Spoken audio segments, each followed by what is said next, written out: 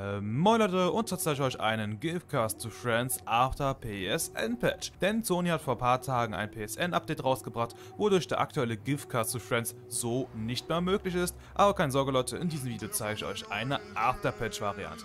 Bevor wir mit Glitch anfangen, würde ich euch jetzt schon mal zu bitten, einen fetten Like fürs Video dazulassen. Würde mich auf jeden Fall mega freuen. Also ich würde sagen, fangen wir doch mal direkt an. Als erstes, was braucht ihr denn für diesen Glitch? Ihr braucht einen Nachtclub inklusive B1 und B2 Garage. Ihr braucht einen Bunker inklusive MOC. Im MOC, im dritten Abteil, braucht ihr ein Lager für persönliche Fahrzeuge und im Lager für persönliche Fahrzeuge braucht ihr ein Fahrzeug, was für diesen Glitch verloren gehen kann. Das bedeutet, wenn ihr diesen Glitch macht, verliert ihr dieses Fahrzeug, also sollte es am besten ein kostenloser LG sein, den ihr da verwendet. Außerdem braucht ihr auch noch einen Freund, der euch bei diesem Glitch unterstützt. Optimalerweise hat euer Freund auch das Fahrzeug, was ihr gerne haben möchtet und dieser Glitch muss in einer Einladungssitzung gemacht werden und ihr braucht auch noch einen anderen Zielmodus. Mein Tipp nimmt freies Ziel. Den Zielmodus könnt ihr in Story-Modus oder im Editor ändern. Habt ihr das Ganze, können wir auch schon mit dem Glitch starten. Als erstes seid ihr mit euren Freunden in der Einladungssitzung. Seid ihr beide in der Einladungssitzung, muss euer Freund als erstes sein Handy öffnen, geht auf schneller Job, geht auf Aktivitäten und geht dann runter zu Golf oder Darts und geht dann rein und zwar alleine und startet das Ganze. Denn euer Freund muss unten stehen haben, dass die Lobby gefüllt wird. Also das dauert so ungefähr 15 bis 20 Sekunden, bis es da steht. Und dann, wenn das da steht, können wir auch mit dem Glitch anfangen. Denn wenn euer Freund Bescheid gesagt hat, ey yo, da steht jetzt bei mir, Lobby wird gefüllt, können wir jetzt in unseren Nachtclub reingehen. Und zwar in die B1 Garage. Seid ihr in die B1 Garage reingegangen, laufen wir jetzt zum Aufzug.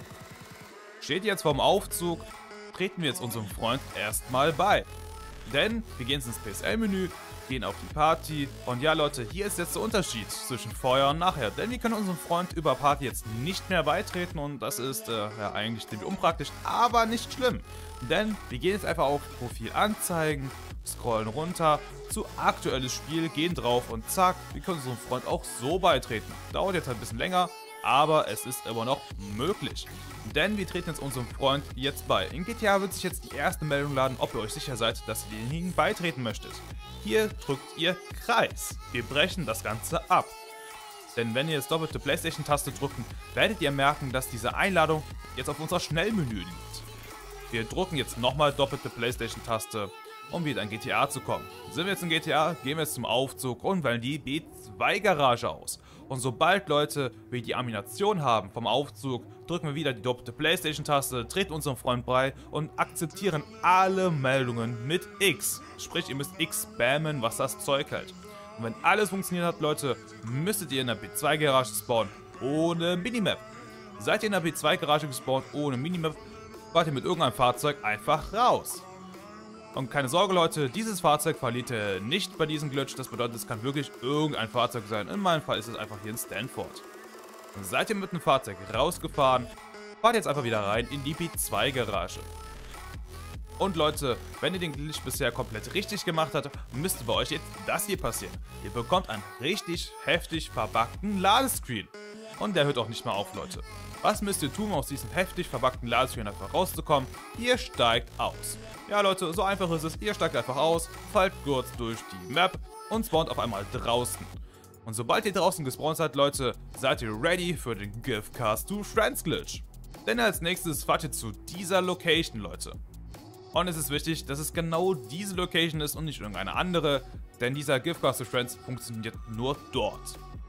Ihr könnt jetzt eurem Freund sagen, ey, du kannst jetzt aus der Aktivität rausgehen und komm mal bitte auch dahin. Seid jetzt beide dort angekommen, bestellt ihr euer MOC. Habt ihr euer MOC bestellt, bestellt ihr euer Auto, was im MOC steht, über das Integrationsmenü vom MOC. Währenddessen ihr die beiden Sachen bestellt, kann euer Freund jetzt das Fahrzeug bestellen, was ihr gerne von ihnen haben möchtet. So, habt ihr jetzt euer MOC so hingestellt, wie ich es getan habe und habt euer Fahrzeug aus dem MOC rausbestellt, steigt jetzt euer Freund in euer Fahrzeug ein. Denn euer Freund muss jetzt auf die Optionstaste drücken, geht auf Online und geht dann auf Criminal Starter Pack. Dann kommt er diesen Kaufbildschirm für den Criminal Starter Pack und wenn er da drin ist, kann er euch Bescheid sagen, jo, ich bin drinne. Denn jetzt fahrt ihr zum MOC und drückt die rechte Pfeiltaste. Ihr werdet merken, dass ihr gefreezed seid und auch einfach nichts mehr machen könnt. Und das wird auch so bleiben. Denn ihr könnt es eurem Freund sagen, jo, ich bin gefreezed und euer Freund geht jetzt ins PSN-Menü. Und das ist ganz wichtig, Leute, dass euer Freund ins PSN-Menü geht. Und sobald er ins PSN-Menü geht, wird er nämlich aus dem Auto rausgekickt. Ist euer Freund ins PSN-Menü gegangen, seid ihr wieder entfreezed und ihr könnt eurem Freund sagen, ey yo, du kannst wieder zurückkommen und euer Freund kann auch die Optionsmenü wieder schließen. Ihr fahrt jetzt mit eurem Fahrzeug einfach ein paar Meter zurück, sodass der blaue Kreis wieder sichtbar wird, wenn ihr zu Fuß steht. Ist der blaue Kreis sichtbar, lehnt sich euer Freund gegen das MOC. Ihr geht jetzt zu Fuß zum MOC, drückt die rechte Pfeiltaste und ganz wichtig Leute, ihr geht auf alleine beitreten. Ihr werdet jetzt einen endlosen Blackscreen bekommen. Und wir kommen jetzt aus dem Blackscreen wieder heraus. Wir suchen uns jemanden, der einen anderen Zielmodus hat. Das bedeutet, wir treten jetzt jemanden bei aus unserer Freundes- oder Community-Liste. Haben wir jemanden gefunden, der GTA spielt, müssen wir erstmal natürlich testen, ob er einen anderen Zielmodus hat. Das bedeutet, wir treten den jetzt bei. Die erste Meldung, die sich jetzt laden wird, ist ja die Meldung, ob ihr sicher seid, dass ihr denjenigen beitreten möchtet. Hier drückt ihr gar nichts, Leute. Denn wir treten ihn einfach nochmal bei, wenn sich jetzt die Meldung nicht geändert hat, Leute, dann hat er den gleichen Zielmodus wie ihr und ist unbrauchbar für diesen Glitch. Aber falls sich jetzt die Meldung bei euch geändert hat, denn bei euch müsste jetzt die Meldung erscheinen, dass ihr euch sicher dass ihr den Zielmodus ändern möchtet, dann hat er einen anderen Zielmodus und ihr könnt jetzt hier Kreis drücken. Und sobald ihr Kreis gedrückt habt, werdet ihr merken, dass ihr auf einmal unsichtbar gespawnt seid. Und Leute, ihr seht jetzt auch schon, warum ihr diesen Glitch hier machen müsst. Denn ihr spawnt immer bei diesem Schritt genau an dieser Stelle. Aber Leute, jetzt muss es schnell gehen mit diesem Glitch, denn ihr müsst jetzt zum Fahrzeug rennen, was euer Freund bestellt hat und so schnell wie möglich einsteigen. Und sobald ihr eingestiegen seid, boom, das Fahrzeug gehört euch. Wie geil ist das denn? Und das war's auch schon.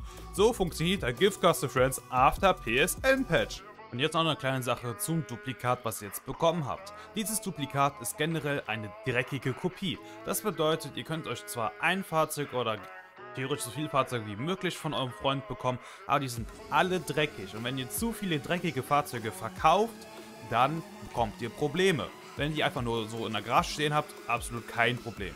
Aber wie könnt ihr denn keine dreckigen Kopien bekommen? Dafür braucht ihr dasselbe Nummernschild wie euer Freund. Und zwar ein benutzerdefiniertes Nummernschild von einer iFruit-App. Sprich, mein Kollege hat das Nummernschild NHW, muss ich auch das Nummernschild NHW haben. Und somit wenn ihr beide das gleiche Nummernschild habt und das Nummernschild auch auf dem Auto ausgerüstet ist, sollte es keine dreckige Kopie sein. Wenn euch dieser Glitch gefallen hat, würde mich übelst freuen, wenn ihr einen fetten Daumen nach oben geben könntet. Und für die Leute, die mich noch nicht abonniert haben, warum nicht? Ihr seht doch, dass es funktioniert. Deswegen, macht's gut, bleibt gesund, euer Wombat. Ciao.